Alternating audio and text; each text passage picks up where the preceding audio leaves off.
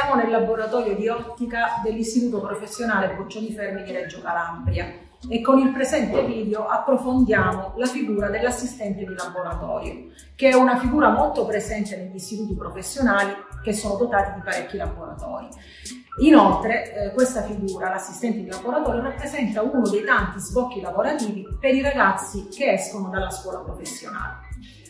Chi è l'assistente di laboratorio?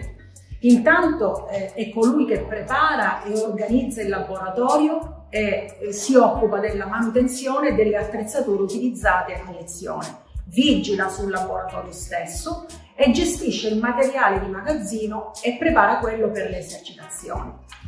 Come si diventa assistente di laboratorio?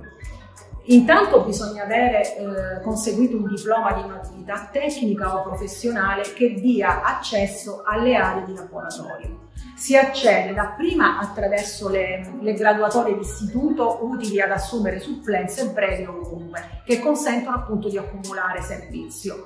Una volta raggiunti i 24 mesi di servizio cumulabili anche in maniera discontinua, si viene inseriti in un'altra graduatoria, che è la graduatoria permanente provinciale. Attraverso questa graduatoria si può accedere agli incarichi annuali e quindi all'ambito ruolo, perché appunto viene utilizzata proprio per immettere in ruolo.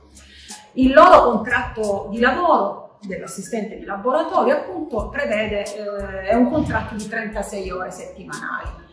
Eh, una conferma della possibilità immediata di lavoro come assistente di laboratorio dopo il diploma professionale ci viene data da Denise Bolaffi che è qui accanto a me. Ciao Denise, Denise ha ricevuto un contratto di lavoro eh, a tempo determinato per tutto l'anno in questo istituto eh, per il secondo anno consecutivo. Complimenti e bentornata. Eh, racconta brevemente la tua esperienza. Tu eh, sei arrivata qui l'anno scorso, intanto ti sei diplomata in questo istituto quando? Nel 2019-2020. E quindi l'anno scorso hai fatto domanda come assistente di laboratorio in questo istituto. E dopo 14 mesi mi hanno chiamato come assistente tecnico di laboratorio. Benissimo. Eh,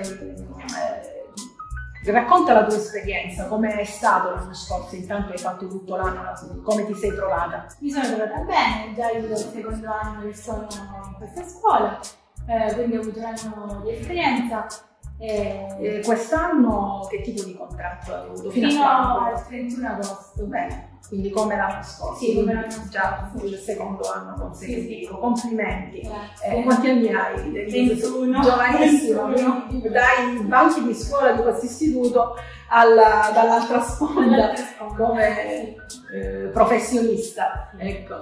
Senti una cosa, tu stai frequentando l'università? Sì, siamo al terzo anno di ortottica e assistenza oftalmologica. Di cosa si occupa? Allora, l'ortottica praticamente è una branca dell'oftalmologia che si occupa dei deficit muscolari. Quindi eh, la stai frequentando dove? A Messina? A Messina.